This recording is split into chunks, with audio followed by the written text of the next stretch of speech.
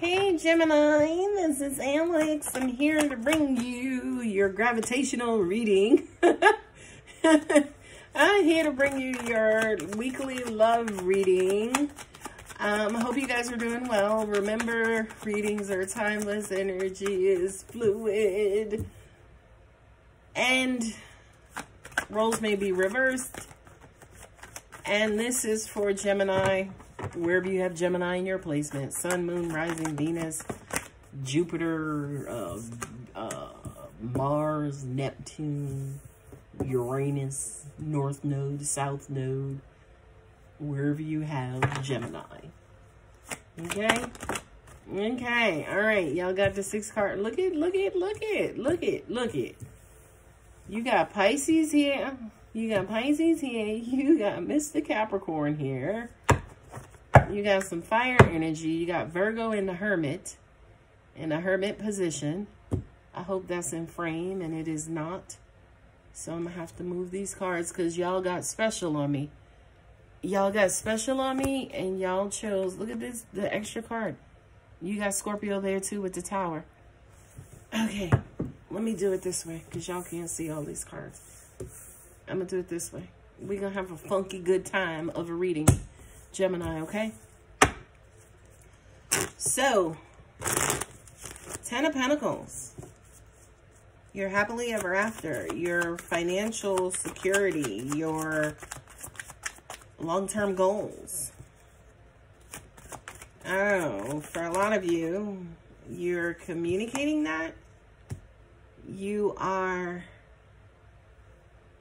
having, oh, you're thinking in deep thought. Angels just said you're in deep thought about it.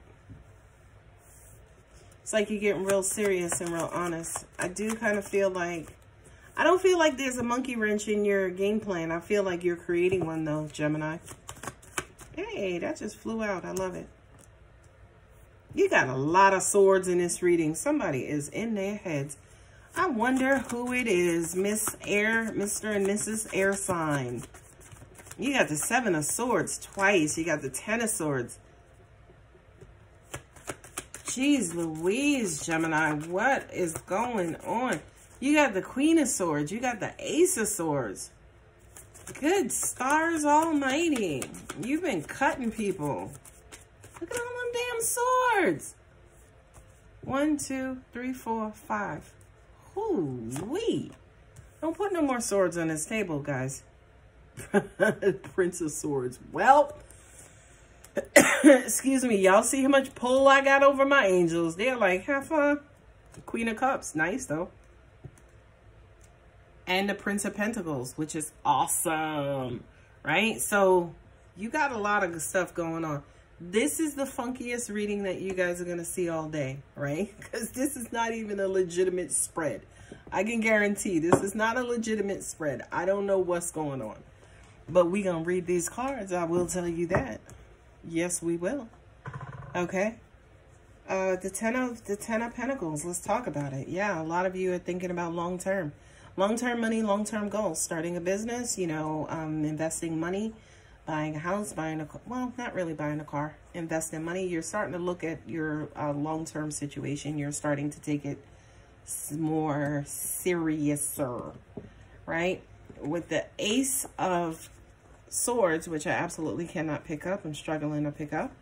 With the Ace of Swords, this is living in your own truth. But also at the same time, this is you seeking clarity, you know, providing somebody with clarity, being very freaking clear about what it is that you want, what it is that you're going to put up with, and also what it is that you are not going to put up with.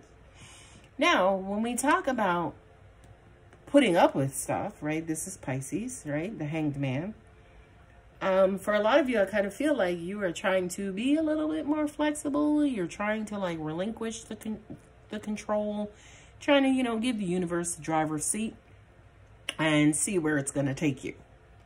It's kind of hard for you though, um, Gemini. Yeah, because you're an air sign. You want to know where and what and how everything is going to happen right? But to an extent, that tends to get in your way sometimes because it's almost like you obsess over the outcome right? Oh, angels just say you just told one, told one of their secrets, right? Because it's almost like you you pretend to be this happy-go-lucky, everything's good, everything's fine, blah, blah, blah. Whatever happens, happens. But secretly, deep down, you are stressed the fuck out, Gemini. Excuse me, right?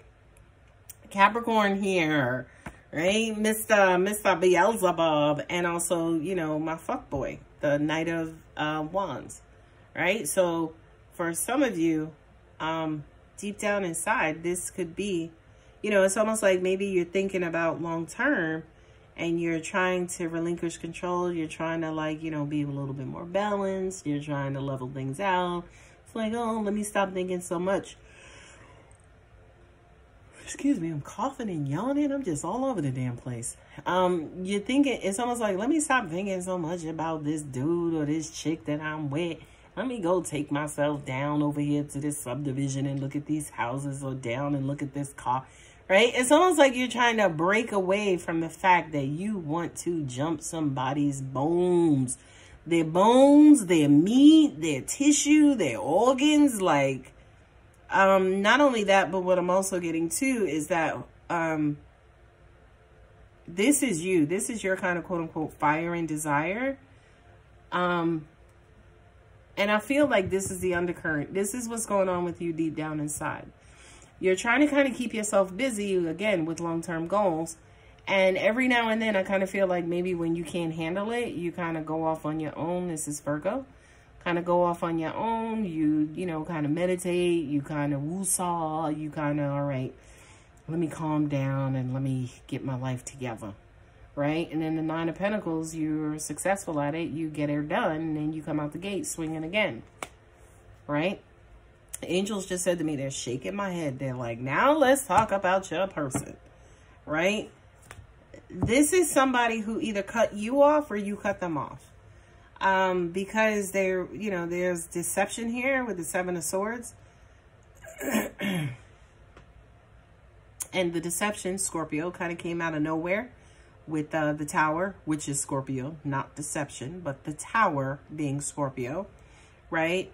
Um, it, you know, something kind of hit you surprisingly that kind of broke y'all apart, broke y'all down, caused you to cut this person out. So it's almost like something happened that was deceitful and you got rid of this person, right? But your person you know, kind of, it was kind of like the straw that broke their back. It's almost like you letting them go, you separating from them, really, really, really jacked them up. Now, mind you, I'm sitting here reading for Gemini, which is an air sign, and there are 10 swords in this person's back, which represent air as well. Swords represent air, right? So your person, I kind of feel, is left with your words. Whatever your last words were, whatever the argument was, whatever, you know, the words that were spoken. It's almost like they're replaying them in their head over and over and over and over. What's unfortunate about that is that's what's actually keeping this person down. So you cut them out and they cut themselves out also. Or they broke themselves down. Or you cutting them out broke them down. The thing that I like about this card showing up in all these damn swords is that with the Ace of Cups, there's an opportunity for new love and love to grow, right? Love to grow and love to kind of resurface. But it's almost like, is it going to resurface in the same old environment that it just kind of came from? Which is Seven of Swords. You got the Seven of Swords here twice. You got the Seven of Swords under the tower, right? So is that, you know, fool me once, shame on you, fool me twice, shame on me? Like, are you going to go down this road again? Gemini, right? I don't know. Let's see. You got the Prince of Swords and then you got the Queen of Cups, right? This person, you know, the Prince of Swords maybe comes back in with an apology or some sort of minor communication like, I love did you. I'm sorry. You know, and maybe that's it, by the way. You know, I'm sorry.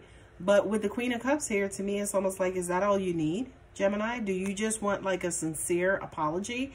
And the, the it's the the um page of uh, swords and the ace of swords here, right? But the page of swords to me is like it's not like the King of Swords. The King of Swords is coming in like, look, I'm sorry. I, I did this. I did that. Like the King of Swords is going to run down everything he did.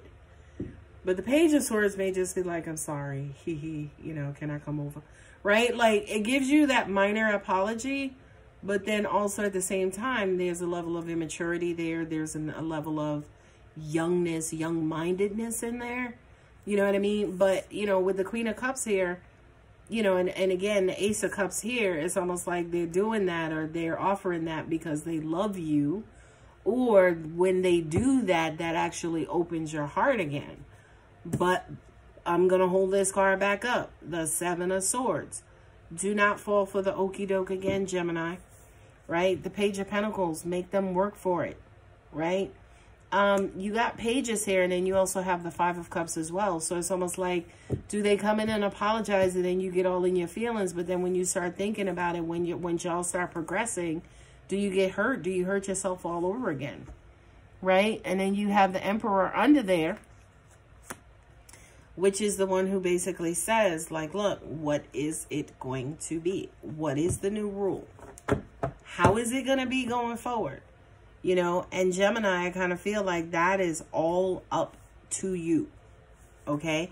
It's absolutely all up to you because again, um, and what I just heard, it's like out of all of the thinking that you're doing, that's not even what you're thinking about. As in, you're not even thinking about, okay, what is it going to be going forward? Right? You may be uh, stuck on getting the apology, reopening communication, you know, getting your person out of this particular position. But when it comes to going forward, don't fall for this again, right? Not only that, but what I'm also getting as well, if, you know, it's almost like don't proceed. Do not open your heart, right? I'm not telling you guys what to do. These are just suggestions.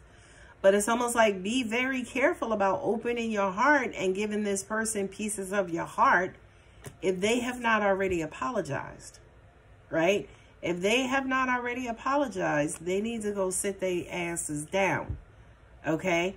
And come correct, okay? So that is your weekly love reading, Gemini. I hope it resonates. If it does, go ahead and give the video a thumbs up. And if you're not subscribed, go ahead and hit subscribe. Love you guys. See you next week. Bye.